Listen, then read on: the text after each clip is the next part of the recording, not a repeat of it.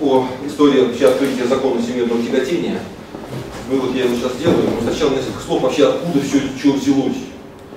Э, знаете, два года назад мы с моим коллегой Николаем Павловичем Калашниковым, заведующим, заведующим кафедрой общей физики МИФИ, решили писать книжку. Книжку по физике для школьников. Ну, вот начали писать, но их же огромное количество, самых разных, и хороших, и плохих, и очень хороших. А, значит, и вот Калашников говорит, слушай, ну надо что-нибудь сделать, чтобы мы хоть чем-то отличались. Я говорю, знаете, у нас вот тут получше, вот тут, ну это, это все как бы настолько вот чуть-чуть из состояния метра посмотришь и уже не заметишь, что там у кого получше, что у кого похуже. Надо что-то такое сильно хорошее, вот отлич, от, отличающееся. Ну и вот попробовали, э, как бы пришла, думали, думали, и вот пришла такая идея. Вставить в эту книгу биографии физиков. Причем не прилизанные, вот не такие, какие они были вот в вашем школьном учебнике, в моем были такие же, вот все мы учились, они были те же самые. Понятно, что это как бы, ну не то, что неправда, это правда, но она настолько не вся правда, что уже почти неправда. И э, начали искать. Значит, искать информации оказалось какое-то безумное количество, много. Что ее, конечно, как бы просеивать, тасовать. Э, и вот скапливалось, скапливалось внутри. Да, книжку мы вставили, книжка еще пока не издана, но она будет, я надеюсь, э, в начале следующего года издана. И вот эта информация, причем, конечно, в книжку вошло совсем немного, не все то, что здесь, гораздо меньше. Ну, и вот это как бы копилось внутри, копилось внутри, и оно там не задерживалось. Оно как когда там накопилась какая-то критическая масса, то ей хотелось наружу. Ребята, ну и вот э, я сделал такую презентацию, несколько раз я уже рассказывал учителям э, и школьникам. Ну и вот попросил Филипп сделать этот рассказ, и вот я вам расскажу. Значит, я, постараюсь не сильно долго, но я что меня будет заносить куда-то. Я буду отвлекаться от генеральной линии. Ну вот что делать. Ребят, то на час, я думаю, что мы справимся с вами. Но я, ребят, будет интересно. Вот это я обещаю. А, ребят, вот это главные источники, откуда бралась информация. Вообще информации много, и о Ньютоне, и о Гуке, и о открытии закона всемирного тяготения. Есть три книги, такие как бы наиболее серьезные, что ли, э, наиболее такие э, достоверные. Во-первых, это книга Вавилова, академик Вавилова, который был э, президентом Академии наук Советского Союза в течение какого-то времени. Из серии «Жизнь замечательных людей». Э, очень такая выдержанная. И, ребята, не могу сказать, что. Но так вот, как диагонали просматриваю.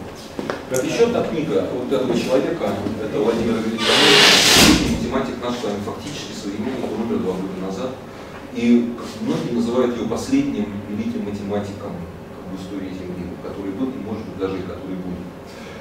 А, у него есть книга вот на эту тему, вот название этой книги.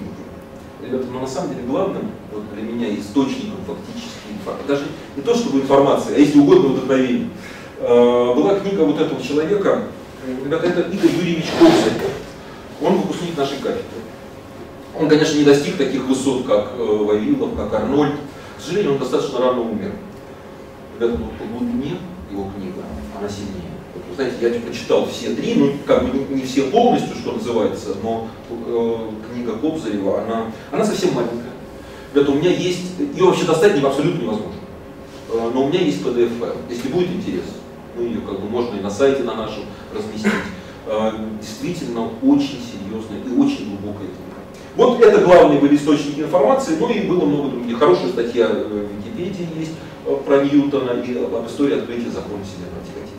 Ребята, ну вот как бы фактически то, о чем будем говорить. Ну, конечно, все мы с вами знаем закон всемирного тяготения. Считается, что этот закон был открыт Ньютоном. Вот в этот год 1687, он точно датируется, это год выхода книги Ньютона «Математические начала натуральной философии». Считается, что как бы ничего до него, или мало что до него было здесь сделано, что одновременно Ньютон открыл механику. Ну вот давайте мы посмотрим, а что же было. Это понятно, что все основные проявления закона всемирного тяготения, конечно, это астрономия. Здесь мы имеем только падение на Землю. А, и поэтому полигоном для этого закона были астрономические явления, те, которые мы наблюдали. Это, ребята, картина мира Аристотеля, планеты по кругам, окружностям вокруг Земли, Земля в центре. Эм, о причинах, конечно, Аристотель ничего не говорил. Это вот здесь чуть-чуть побольше. А, это человек, это Птолемей, который создал свою систему мира. Абсолютно неправильно. Но, на мой взгляд, она принесла очень серьезную пользу. Пользу науке. Значит, что же сделал Птолемей? Во-первых, э, чем плоха была теория Аристотеля?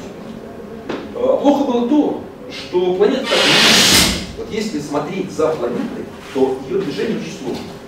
Вот будем смотреть за Марсом. Конечно, он испытывает движение суточное, связанное с вращением Земли вместе со звездами. Но и кроме того, на фоне звезд э, любая планета совершает собственное перемещение. Причем оно хитрое. Сначала вперед, потом назад, потом снова вперед, потом назад и так далее. Вот такие, это было названо э, петлями, не знаю, как правильно ударить, поставить петлями, наверное, петлями. Вот такие петлеобразные движения. Сначала вперед, потом назад. Значит, ничего, абсолютно было неясно, почему так. Ну и а вот этот человек, Пелемин, он предложил некую теорию, как объяснить вот эти петли. Он сказал, давайте предположим, что движение планет происходит по нескольким кругам. Во-первых, есть круг, который э, Птолемей называл дифферент, это, собственно, траектория планеты, но э, немножечко сдвинут по отношению, Земля не в центре, чуть-чуть сбоку. Э, кроме того, каждая планета, кроме того, что она движется вот по этому дифференту, еще испытывает одно круговое движение по некому внутреннему кругу, центр орбиты которого движется. И тогда, подбирая нужным образом параметры вот такого э, оборота и вот этого оборота, можно было все эти петли э, объяснить. Ребята, кроме того, он еще, вот у него были эксцентры и кванты, это некие тоже объекты, вот э, как бы он вытягивал эти круги, подбирая их так, чтобы объяснить наблюдаемые движения планеты. Это, конечно, плохо, так нет. Но, ребята, эта теория позволяла считать. Вот, пожалуй, Древний был первым физиком в истории Земли, который вопрос ставил не так, вот посидели, так затылки почесали, а вот что тут естественно в этом движении, а что неестественно, а боится там природа пустоты, не боится пустоты. Считать. Он дал некую как бы схему, условно говоря, постулаты. А, и дальше считайте. И теория Птолемея, несмотря на то, что, конечно, она неправильная, но она на тысячу лет, э, конечно, были расхождения. И вот за тысячу лет Копернику очень сильно разошлось то, что предсказывала теория Птолемея, с тем, что мы наблюдали. Но тем не менее, эта теория, поскольку она позволяла считать, то фактически я бы назвал вот этого человека первым физиком-теоретиком истории Земли. Хотя теория была неправильная, она принесла, на мой взгляд, существенную пользу. Но потом э, пришел вот этот человек Коперник, который э, Солнце поставил в центр. Ну, мы знаем, это, конечно, гелиоцентрическая система. Солнце в центре, все планеты движутся вокруг Солнца. Ребята, ну теория, вот, вот это правда. Вот то, что, конечно, Коперник, вот не эксперимент заставил Коперника фактически поместить Солнце в центр Вселенной, а просто здравый смысл. А теория да, описывала плохо, плохо движение планеты. И поэтому Коперник, несмотря на то, что он поставил Солнце в центр Солнечной системы, планеты вращаются по орбитам. Да, кстати, эти петли, ну вы понимаете, из-за чего они получаются. Поскольку есть собственное движение Земли, то Земля на каких-то участках своей траектории опережает следующую за ней планету, планета фактически движется назад, а на каких-то участках она могла догонять. И поэтому как бы, вот это движение мы им э, такое петлеобразное видим.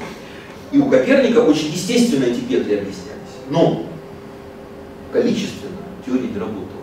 И все равно приходилось сдвигать эти, делать э, эксцентры, как бы двигать окружности по отношению к Земле, и, а по отношению к Солнцу, и Солнце сдвигать по отношению к центру.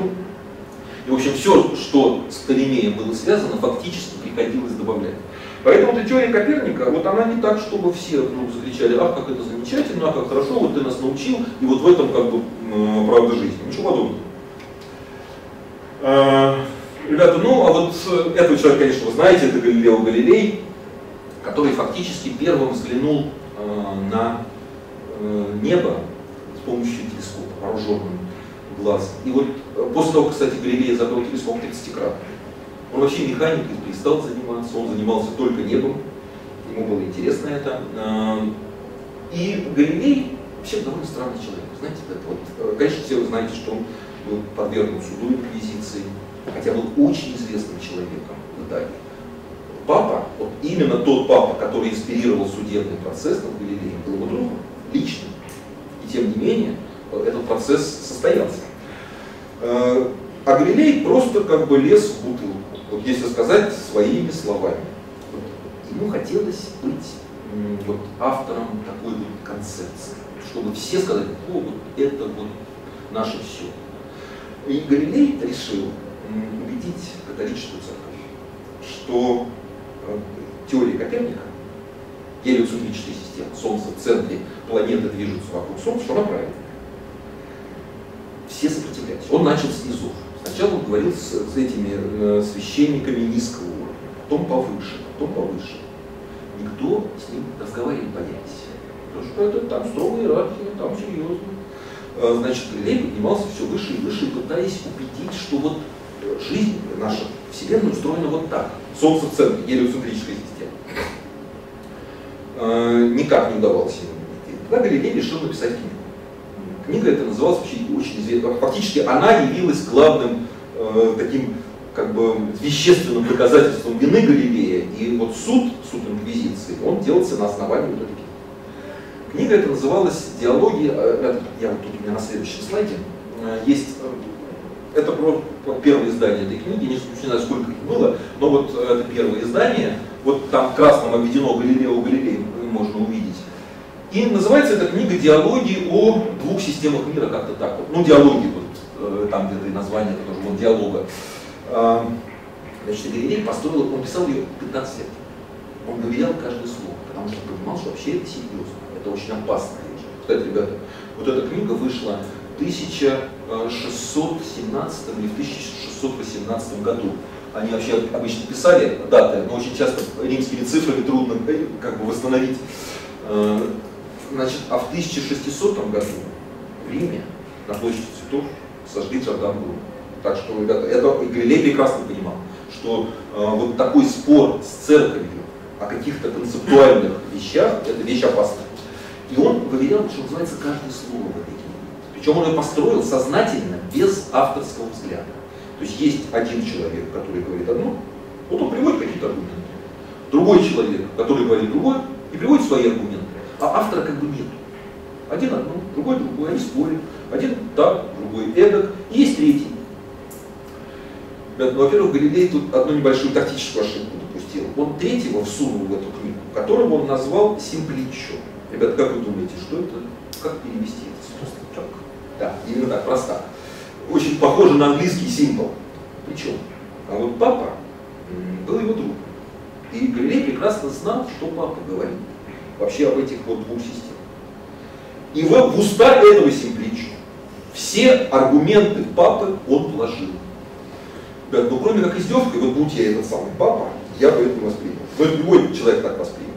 То есть как-то он вроде хотел с одной стороны вот так, с другой стороны ему хотелось вот чуть-чуть вот так. Значит, в результате, да, еще одну вещь Галилей сделал, с точки зрения церкви, не очень порядочную. Любая такая литература должна была пройти цензуру. Все цензоры были известны, ну, по крайней мере, Галилею были известны. Ну, условно говоря, уж не знаю, сколько их там было на всю Италию, но вот был один, условно говоря, строгий, второй средний. Галилей выбрал, конечно, цензора, самого такого либерального и добился того, чтобы книга на рецензию книги попала. И кроме того, он выбрал даже не самого либерального, а самого, так скажем, халявщика.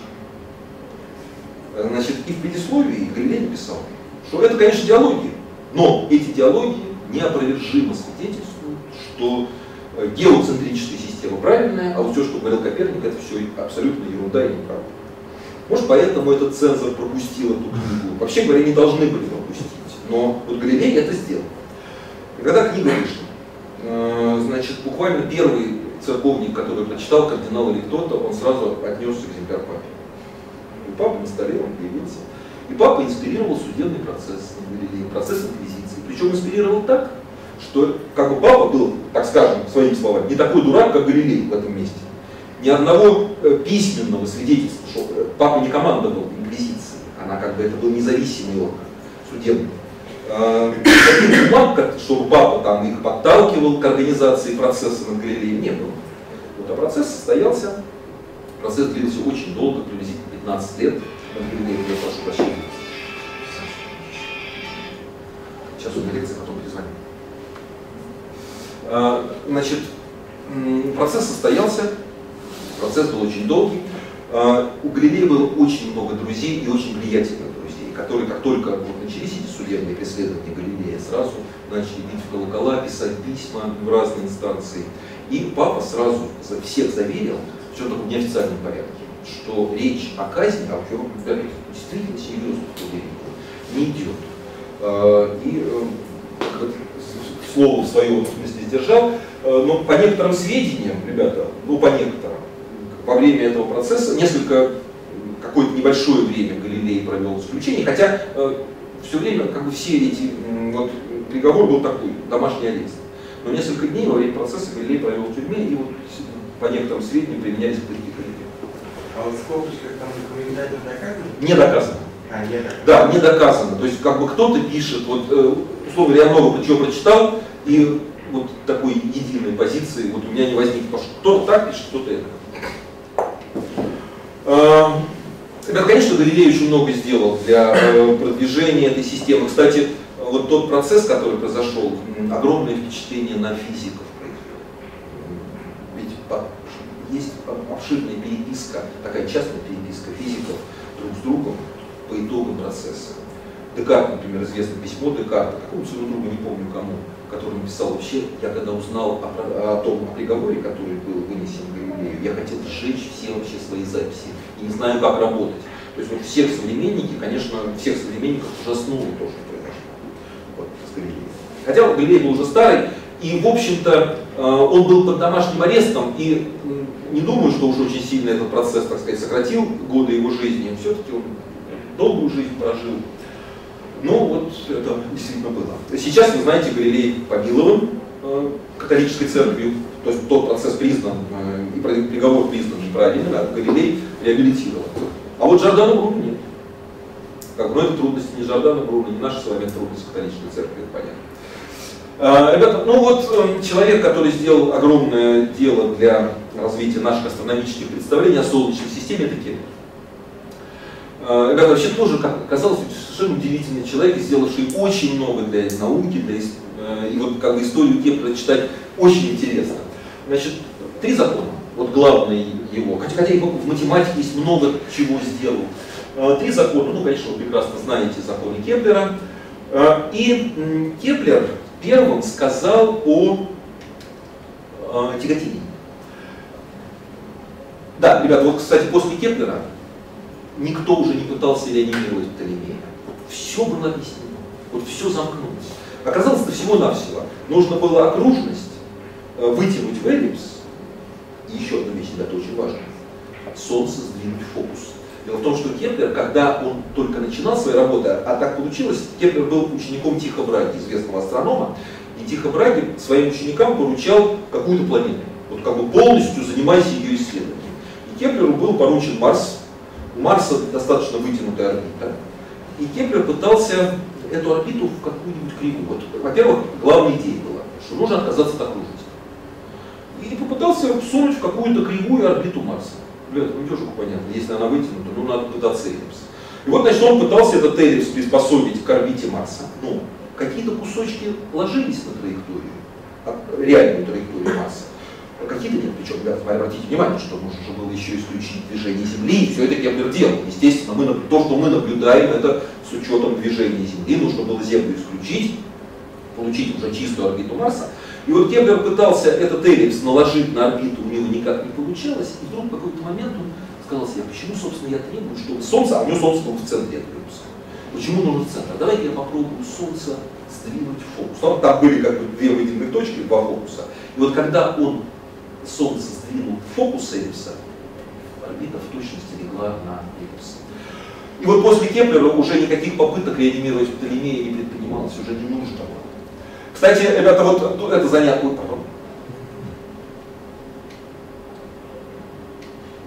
А, ребята, вот это занятная вещь. Конечно, жили все бедно. И вообще всегда это общая ситуация с научными работниками. И Кеплер он был придворным астрономом в разных европейских странах, переезжал, нигде обещали одно, платили другое, это как часто бывает.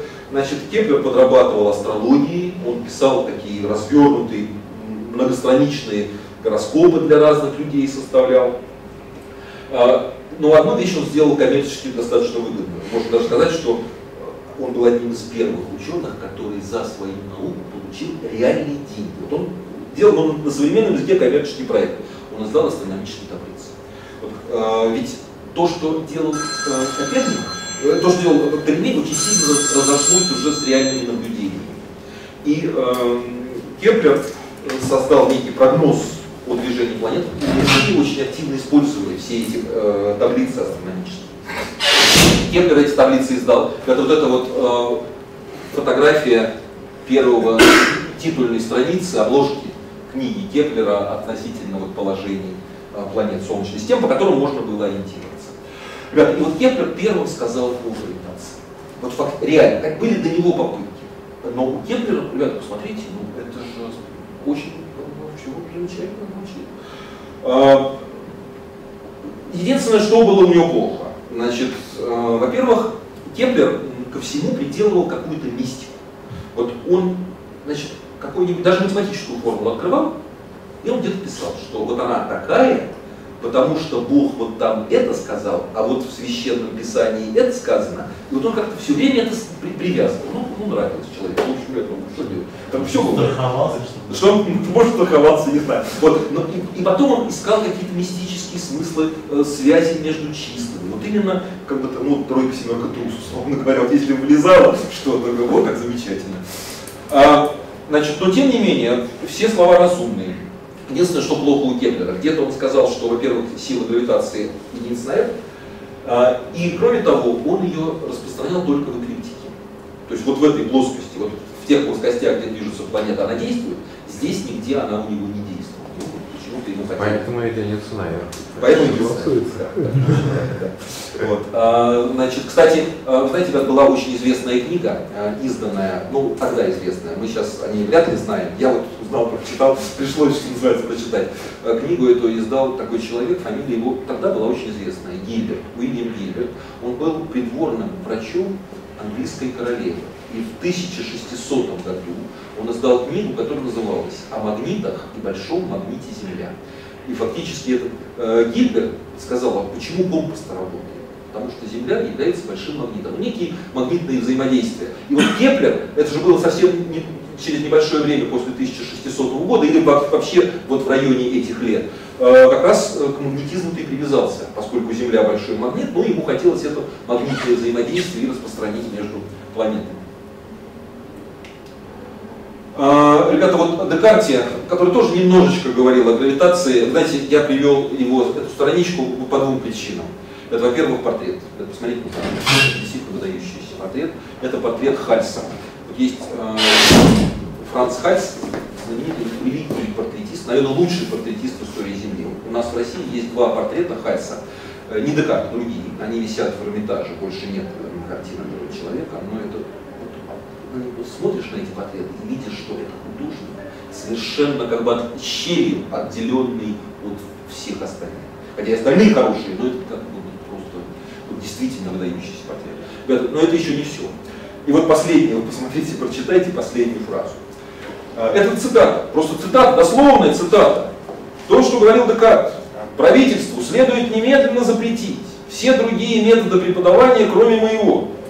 Так как только мой метод политически корректен. Ребята, знаете, вот мы жили вот со старшими товарищами в советской власти, это какая-то терминология вот оттуда, из тех времен. Двигаясь моим путем, любой тупица преуспевает столь же быстро, как и любой гений, в то время как при всех других методах обучения таланты доставляют обучаемым преимущество. Безобразие, да, талант доставляет обучаемым преимущество. Вот ну, такая фраза, такая, как бы написано пером. Вот. Ребята, мы не будем с вами да, требовать от правительства запрета других методов, даже неправильно. А, ребята, ну вот теперь мы подошли уже к тем двум людям, которые, собственно, главный вклад э, в закон всемирного тяготения внесли. Вот они его сделали. Это Гук, сначала будет немножечко о нем, а потом про них, а потом об их как бы взаимодействии. Что Итак, Роберт Гук. Это вот дата жизни. Кстати, он почти ровесник Ньютона. Ньютон родился в 1642 году. Ньютон был на 7 лет моложе Гука. И открыл. Он был как бы, вот, по большому счету, первым настоящим физиком-экспериментатором в истории. Он изобрел огромное количество самых разных приборов. Я тут перечислено далеко-далеко не, не все, что придумал Гук. Э, воздушный насос, шарнир, барометр.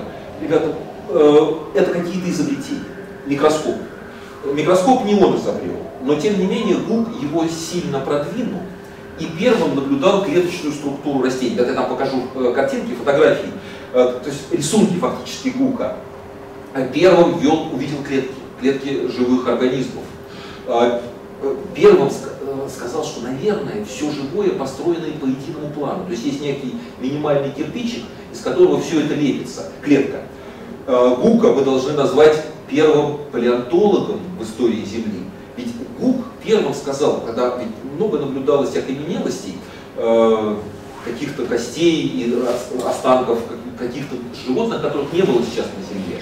И Гук первым предложил такую эволюционную теорию развития жизни, что жизнь менялась, менялась в связи с э, изменениями какими-то, может быть, климата. Гук об этом, может быть, не очень много сказал, но тем не менее сказал.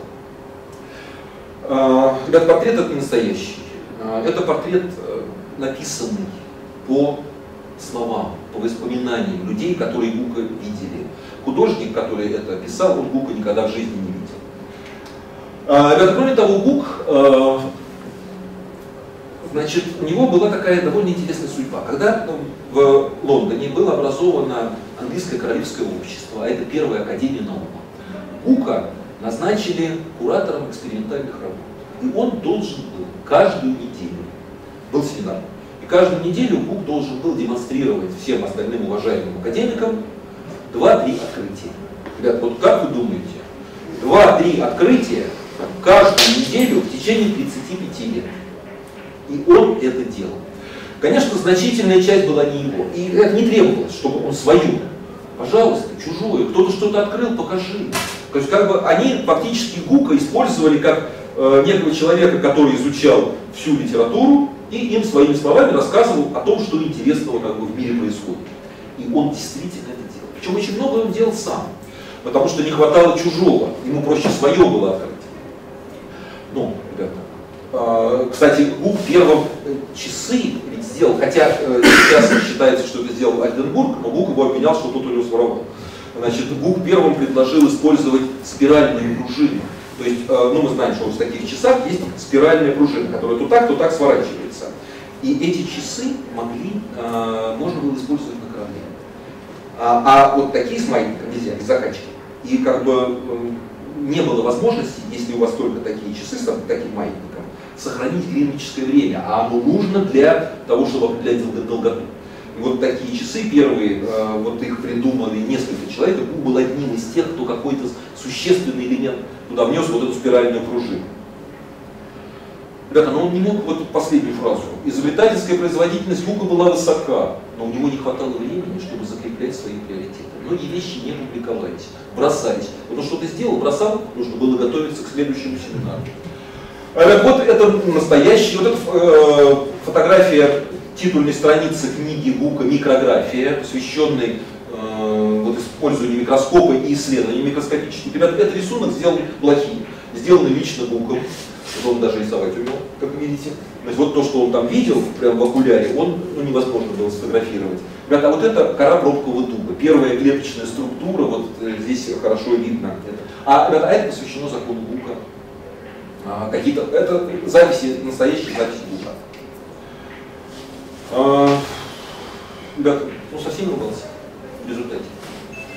А, поскольку все приоритеты были не закреплены, а характер у него был такой, ну, мягко говоря, не очень хороший. Все об этом пишут. Был такой склочный человек, значит, со всеми ругался. Всех обвинял, что у него все своровали. А, этот закон Бойли Мариотта, Бук утверждал, что это он открыл его, и надо было бы его совсем даже не Бойли. Боль, кстати, был ну, на современном языке руководителем, учителем Бука. Значит, Альденбурга по поводу этой пружины спиральной и многих-многих других людей.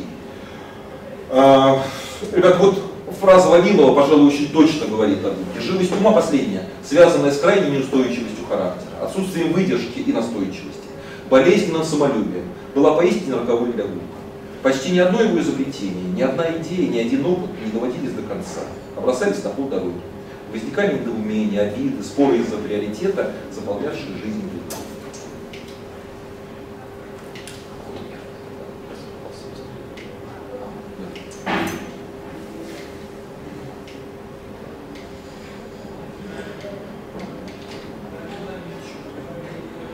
Да, ребята, вот это следующий слайд, э, значит, это о внешнем виде. Знаете, он еще был какой-то бойний с точки зрения как внешнего.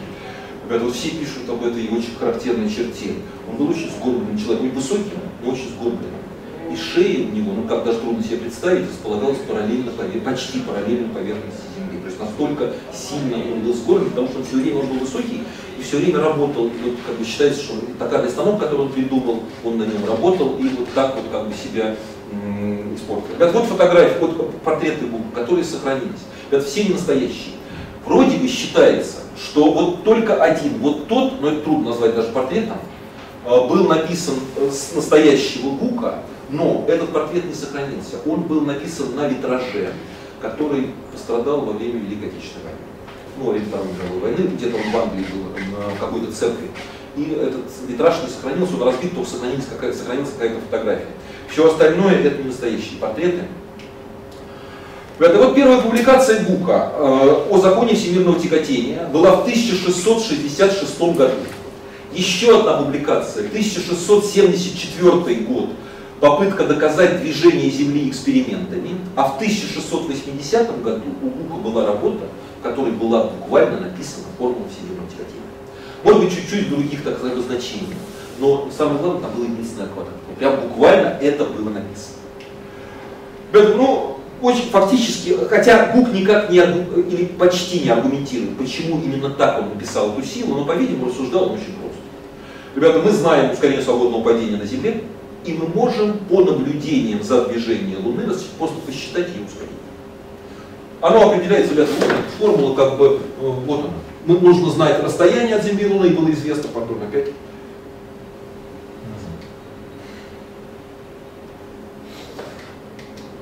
Э, вот расстояние от Земли до Луны, оно было известно. Э, и вот эта цифра.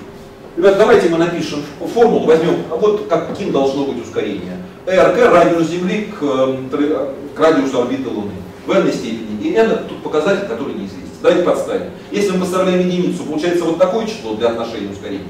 Ребята, а если подставить двойку, оно получается вот это. А вот это тоже должно получиться. Ребята, наука имеет много. Тут только это можно вот так они рассуждали, ну, по-видимому так, иначе как бы они написали этот закон единственное квадрат. Но вот э, потом пришел черед Ньютона.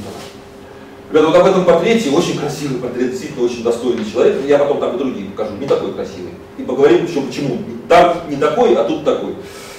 Э, Ньютон, значит, много чем занимался, и оптикой занимался, и другим. Но главная работа Ньютона, вот она, математические начала натуральной философии. Ребята, вот э, хотел только сказать, э, что-то пропущу. Во-первых, ребята, вверху довольно занятная фраза. Э, Ньютон очень много времени и сил посвятил алхимии. Всю свою жизнь он был из небогатой семьи. Всю свою жизнь он хотел разбогатеть. Вот всю. И он делал золото. Он пытался, он как бы проводил эти химические опыты, химичил, химичил, химичил, и в один день он написал дневники. Фраза известна, но ее знают. Борис Михайлович Корнаков мне как-то ее говорил. А вы знаете, Сережа, вот такую фразу? Вот она. Боль ужасная, кажется, я близок к цели. Как получал золото. Ну, конечно, чем хуже пахнет, тем как бы лучше там что-то внутри. Так вот, что Кобзарев пишет про Ньютона. «Э, Все, что делал Ньютон, он делал с исключительной добросовестностью и настойчивостью. И все у него получалось. Когда шлифовал зеркало пылесоса, э, телескоп, зеркало телескопа получалось. Когда ему надо было проводить оптические опыты, они были изумительно четкими. Программа экспериментов доказательны. Вычисления он делал прекрасно. Когда он занялся полемикой с Лейбницем по вопросу о приоритете, то, можно, то свел, можно сказать, Лейбница в могилу. Это, он, да, это был не примитивный человек. Ребята, и еще. В обязанности Ньютона, как директора монетного двора, он в конце жизни стал директором монетного двора, входило преследование фальшивомонетчиков, которые его ужасно боялись. Э, на всех процессах, связанных с фальшивомонетчиками, Ньютон выступал от лица государства как обвинитель. Вот он как бы вносил, или вносил в суд вот некое обвинительное заключение. За 1697 год по делам, переданным Ньютоном в суд, было казнено, ребят, казнено, не просто так по попке похлопали, 20 человек. Да, это действительно был непримитивный человек. И он на всех этих процессах присутствовал. И говорят, хотя документально не доказано, и на казнях тоже. А, это первые физические эксперименты, которые делал Ньютон, это были оптические эксперименты. И вот он открыл разложение света на спектр, известно, и сделал зеркальный телескоп. Это вот телескоп, в котором основным преломляющим элементом была не линза, а зеркало. За, это, за создание телескопа его избрали в Королевское общество. Ребята, вот рисунок, на котором он спектры открывает. Ребята, тут столько физических ошибок, э, что как сколько, ребят, давайте найдем. Смотрите, первое, ну лучи не параллельны. Ну, смотрите, вот у нас есть лучи, и вон они лучи. От Солнца, от одного и того же. Нет, не от Солнца, а от Луны, нет, от одного, одного и того же. Э, значит, кроме того, смотрите, э, видно, что луч, который Ньютон отклонил призмой, он отклоняет вверх. Ребята, какие сильнее это отклоняются при преломлении? Красные или фиолетовые?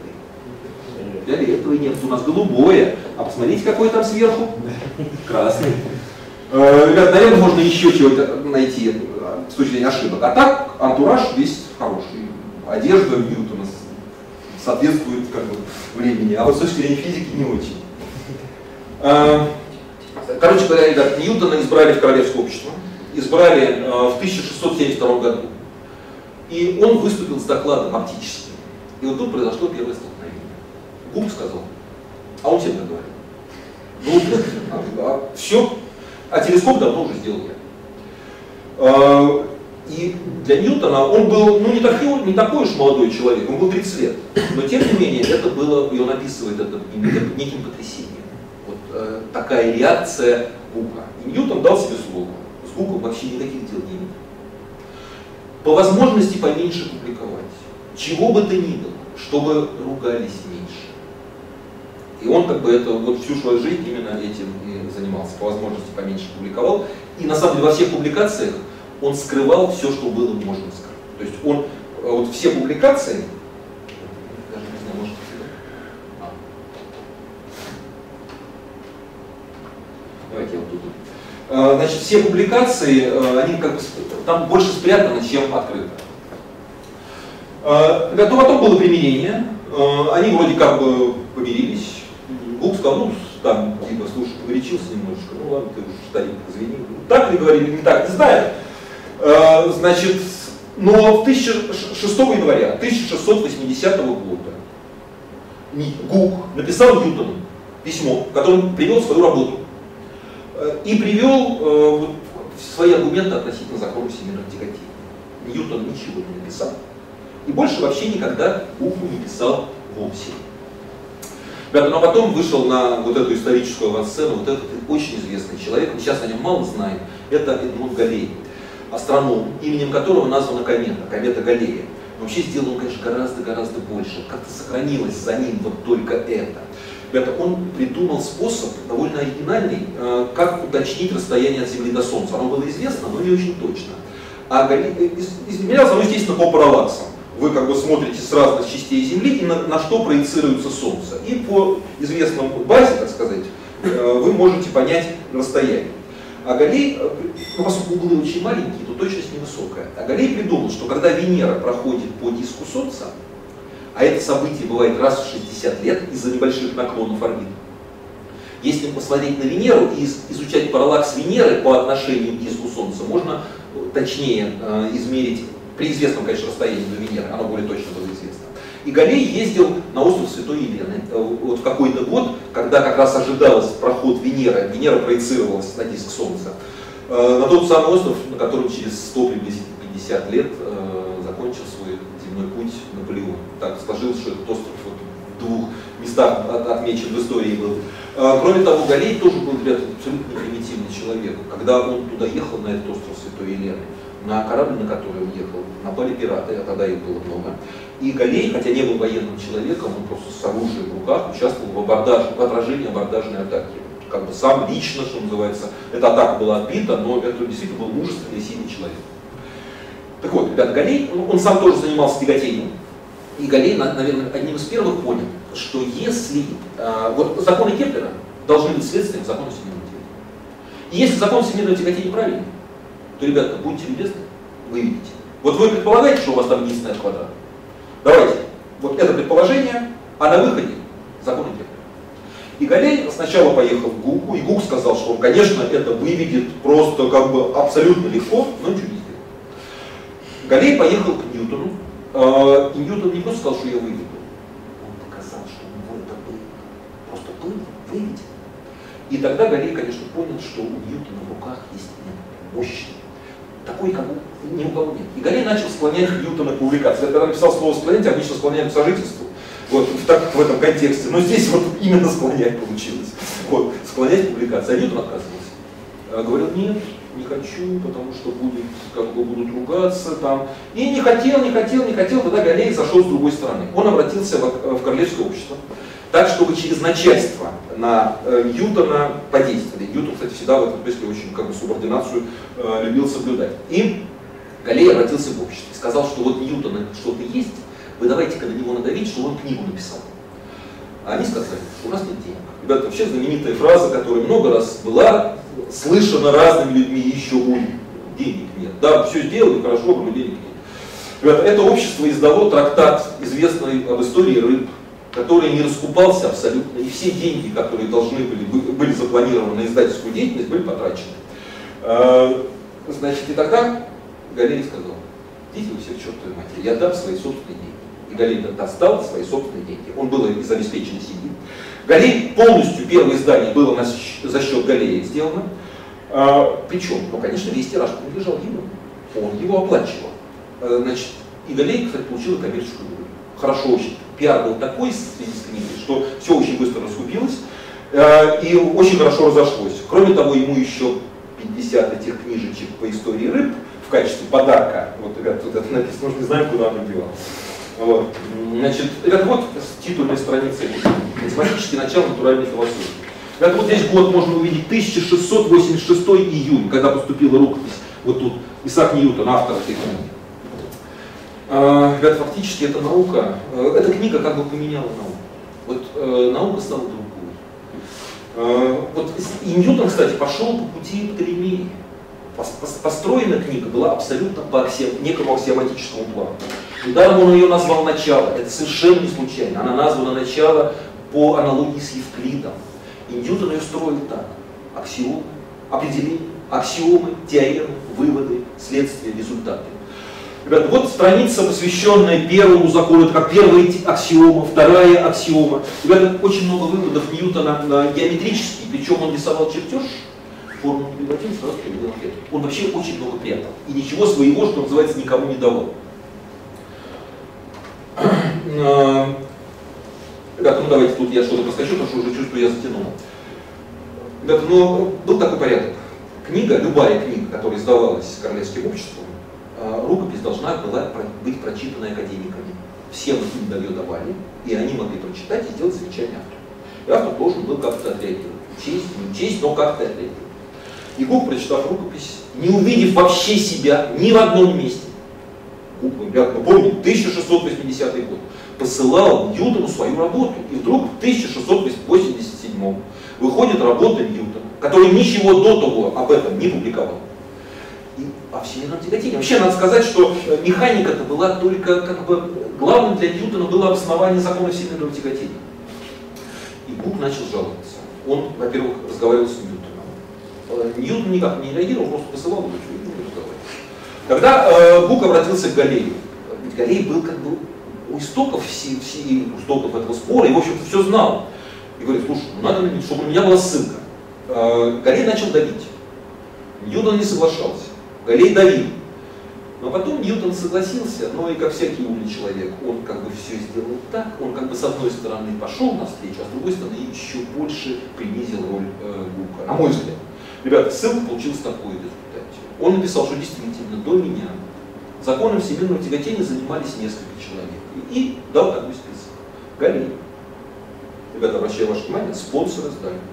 Рен, человек, который в то время был президентом Королевского общества, начальником. И который вообще ничем не занимался. Ну, этим э, законом всемирного тяготения не занимался. И Бук в конце. Вот про этих двоих все знают, что они ничего не, в этом месте, ну, как бы ничего не получили, никаких результатов нет. Ребята, итак, Гука мы всовываем в некий список, последний, список людей, которые к закону всемирного тяготения отношения не имеют. Причем список фактически начальников. Ну вот так вот. Гук, когда это увидел, он еще больше обозлился. И Гук начал, он продолжал вот всю свою жизнь, до конца своей жизни, 16 лет он жил вместе на, на Земле, вместе с книгой Ньютона «Математические начала натуральной философии». Все эти годы он продолжал бороться. Он как бы сжаловался, писал, ругался. Э, Ньютон никак не реагировал. Это вот довольно занятная фраза. 15 февраля, кстати, очень много записано, конечно, 1689 года дневник. Э, у Галея встретился с Ньютоном. Заинтересованность совести не имеет. Ребят, ну никак, тут комментировать, как говорится, все и так понятно. А, ну вот кто же прав? Ну, давайте я буду проскакивать что-то. Вот слова Ньютона. То, что он говорил об этом споре. Давайте просто прочитаем. Э, математики, которые все открывают, все устанавливают и все доказывают, должны довольствоваться ролью сухих вычислителей и чернорабочих. Другой же, не названный, кстати, обратите внимание, который ничего не может доказать, а только на все претендует и все хватает на лету, уносит всю славу, как своих предшественников, так и своих последователей. И вот я должен признать теперь, что я все получил от него, и что я сам только подсчитал, доказал и выполнил всю работу вьючного животного по изобретениям этого великого человека. Вот как говорит Ньютон о Гуке. И в другом месте. Гук имеет лишь отдаленное представление о всемирном тяготении, основанное лишь на догадке. Одно дело изобретать гипотезы, другое дело доказывать их. Ну вот что говорит Вавилов об этом споре. Ну, конечно, вот есть это человечество. Ну, Гук же сделал первым, сделал. Написал первым, написал. В этом смысле, конечно, он должен был бы называться одним из авторов. Конечно, роль Ньютона никто никак не преуменьшает. Но вот по человеческим, как бы, с точки зрения здравого смысла, фамилия Гука должна быть привязана к закону всемирного тяготения. Ребята, вы знаете о том, что Гук автор чего-нибудь, кроме как э, закона Гука всему Не знаете? Конечно. Да, мы никто не знаем. Ребята, вот что говорит Вавилов. Ньютон был очевидно неправ. Скромные желания Гука имели полное основание. Написать начало натуральной философии в 17 веке никто, кроме Ньютона, не мог. Но, и вот здесь такая образная фраза, план начала был впервые набросан Гука. То есть фактически всю программу, вот э, как бы э, работы с законом всемирного тяготения дал Гук. Еще. Если связать в одно все предложения и мысли Гука о движении планеты тяготений, высказанные им в течение почти 20 лет, то мы встретим почти все главные выводы начала Ньютона только высказанные в неуверенной и малодоказательной форме. Не решая задачи, Гук нашел ее ответ. Вместе с тем, перед нами вовсе не случайно брошенная мысль, но, несомненно, плод долголетней работы. У Бука была гениальная догадка физика-экспериментатора, прозревающего в лабиринте фактов истинные соотношения закона природы. Гук не мог идти прямой, безукоризненной дорогой математических начал Ньютона, но своими окольными тропинками, следов которых нам теперь уже не найти, он пришел туда же. Это, кстати, надо сказать, что с точки зрения языка просто блестящий пишет человек, на мой взгляд. Ну, э, и вот в этом году, году умер, как бы не примирившись с ним, не примирившись вот с тем, что произошло. Но умер с надеждой, что когда-нибудь вот время все расставит. Для того ничего не расставит. Вот и мы знаем Гука только как автора закона крутости. Эта лаборатория Гука сразу после его смерти прекратила свое существование прекратила по приказу Гитлера. Я там чуть-чуть дальше скажу. Могила Гука затерялась, мы не знаем, где он похоронен. И все портреты тоже были уничтожены. Ребята, по приказу Гитлера. По личному приказу Гитлера. Были уничтожены портреты. Ну что за физик такой, да, ребята? Правильно, Гук? Да. Ребята, в том же году Ньютон стал э, президентом Королевского общества. Вот одним из первых актов на посту, он, кстати, начал э, с того, что он стал менять все руководство этого общества, менять команду и как бы людей, которые были ближе к нему. На всякий случай. И одним из первых актов на этом посту было уничтожение инструментов бумаг и портретов. Но ну, портреты, не знаю, вот я э, как э, относительно вас, но у меня это самое большое, пожалуй, впечатление произвело, ничем портреты ему помешали. Потом Ньютон стал э, директором монетного двора и наукой больше не занимался. Хотя и опубликовал свои исследования по оптике и упомянул Гука. Гук там был понятно. Ребята, вот это несколько книг, уже последних книг Ньютона, их фотографии. Оптика, арифметика. Это вот э, последняя книга Ньютона, она называется «Хронология древних царств». Это попытка такого э, как бы рационалистического толкования Библии. Как бы, ну, с точки зрения вот, здравого смысла. Это вот это портреты, известные портреты э, Ньютона, но вы видите, что вот тот, который я уже показывал, сильно выделяется по степени, так сказать, благородства. Это совершенно не случайно. Э, дело в том, что этот портрет был заказным. заказан был придворным художником, человек, который умел рисовать так, чтобы было а. похоже, а б. гораздо-гораздо лучше как того, что есть на самом деле. Поэтому э, вот этот портрет похож, конечно, но он очень сильно приукрашен. Кстати, это в официальной биографии Ньютона, она была написана уже после его смерти, а сохранился и черновик биографии справками автора, и, и как бы уже напечатанный вариант. Вот есть такая фраза, как описание внешнего облика. В черновике было написано маленького роста, склонный к полноте. Да тут по первой фотографии, по первому портрету можно действительно предположить, что склонный к полноте. Потом эта фраза была зачеркнута и было написано невысокого роста, крепкого телосложения. Ребята, Ньютона приукрашивали везде. Знаете, вот, э, кстати, на посту директора монетного двора он очень много сделал для Англии. Знаете, вот одну вещь он сделал. Дело в том, что в то время была очень сильная инфляция. 17 век вообще был очень тяжелый для этой страны. Это век революции, смут, потрясений. И э, была инфляция, причем она носила такие деньги дешевели, причем дешевели физически. От золотых и серебряных монет отрезали краешки или стачивали эти краешки, а потом эти э, опилки или кусочки сплавляли. И Ньютон добился принятия закона, чтобы по ободку монеты шла чеканка, вот такой вот эти ребрышки, которые и сейчас есть на монетах, и был принят закон, что хождение таких монет, э, прием или оплата так, монетами без этой чеканки, это преступление, за которое смертная казнь полагалась. И э, таким образом, как бы вот это перестали стачивать, срезать эти краешки у монет. Это вообще, э, конечно, век, вот 17 век, был очень тяжелым, и у меня вот такое ощущение, личное ощущение, вот читая эти э, все материалы, что его просто проталкивали. Вот руководство страны делало из него некую икону. И вот все, что было против, как бы все замалчивалось, все отрицалось. Вот какая-то технология, наша советская, я бы даже сказал. Но это такое ощущение, что все это было. Кстати, вот если говорить о, о стране Англии, действительно, жуткий век совершенно 17 Это приблизительно как 20 для России, для Советского Союза.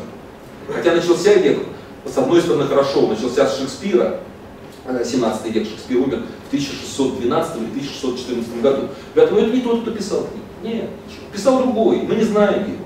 Uh, умер вот этот человек, как бы пропоится и ростовщик, вот, ну, которому приписывается это авторство, совершенно несправедливо.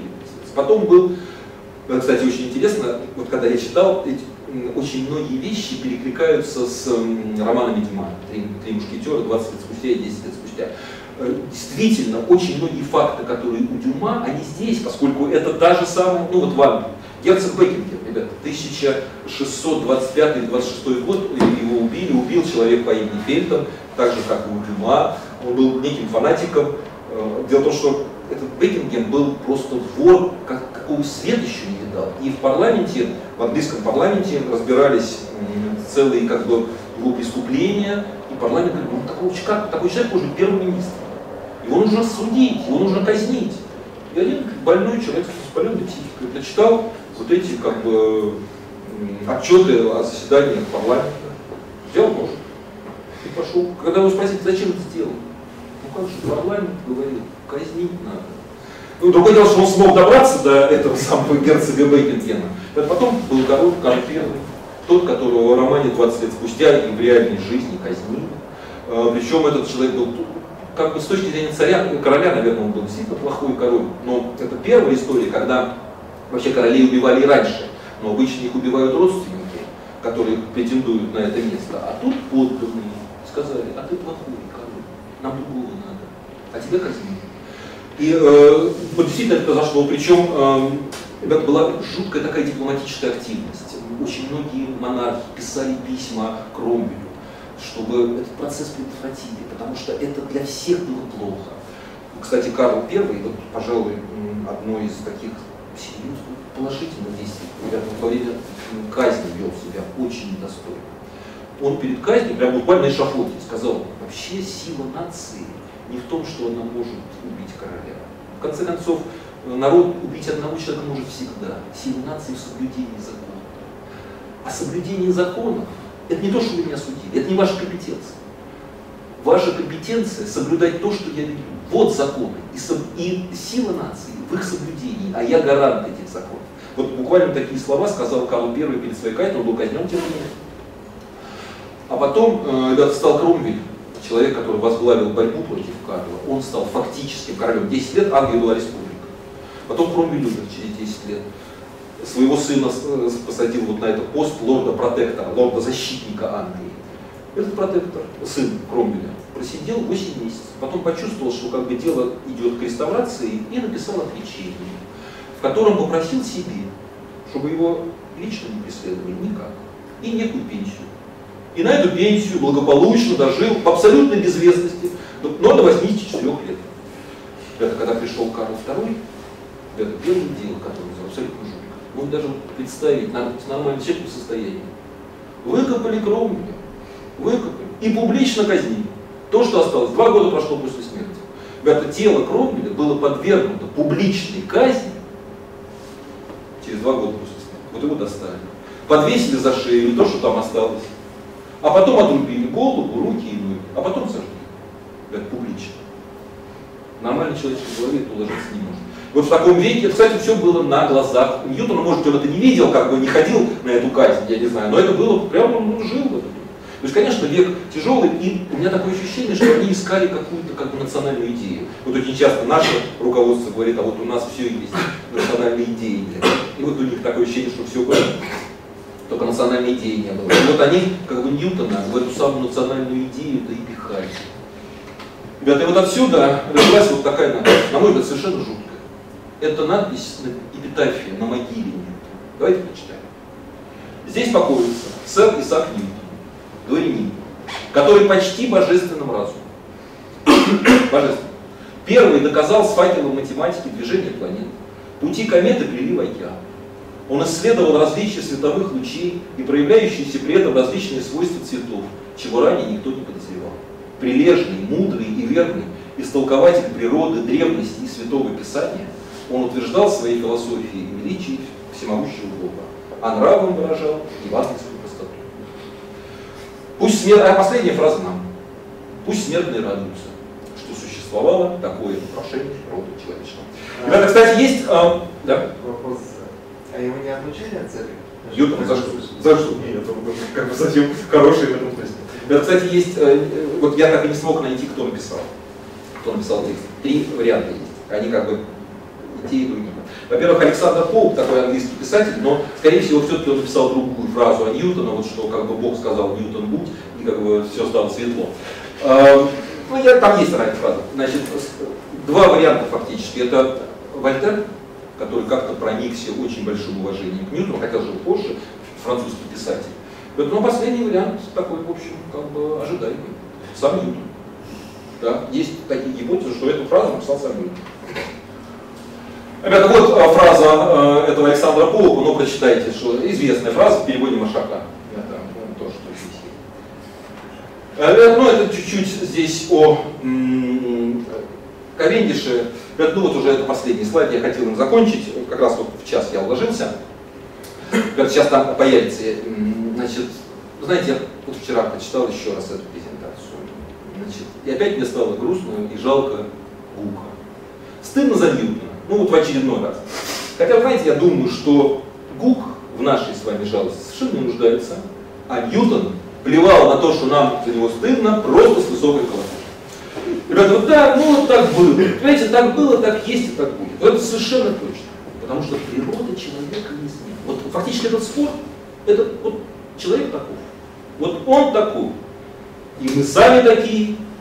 И так, поэтому так было, так есть и так будет. Это вот очень характерный пример. А, вот спор, да, какая высокая наука, вот они там били себя в грудь, пытались выдрать волосы тому соперника. Да, замечательно, вот э, английское королевское общество. Вот как вы думаете, вы, наверное, вы не знаете, я вам скажу, кто был первым членом английского королевского общества от России? Все это сохранится. Лежит письмо этого человека. Подписано. Тремя крестами. Первый русский академик. Александр Данилович Меньшиков. Человек, который не умел писать и читать. Где их принципиальность?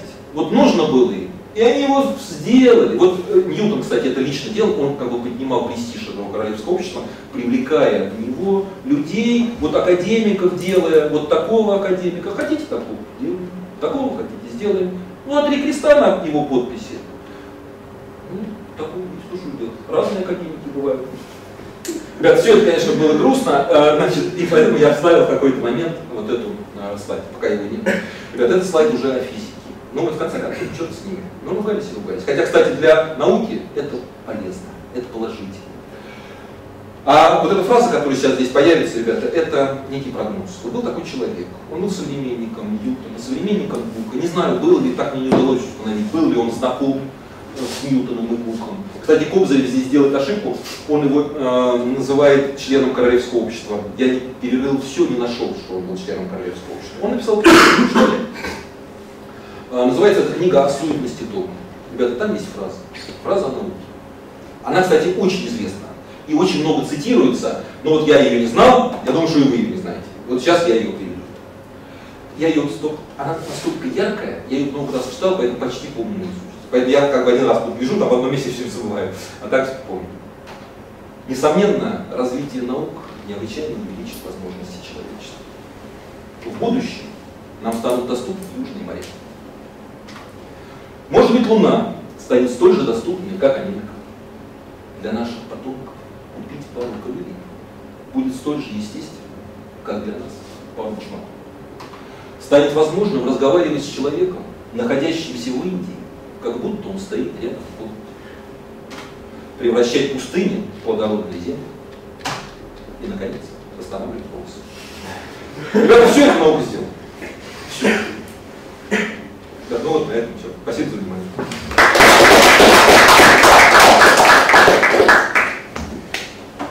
Ребят, я тогда Филиппу Александровичу книжку Кобзарева, она называется «Ньютон и его время», э, передам, и он ее на, на сайте там есть. Хорошо? Так, то есть, я сегодня уже много.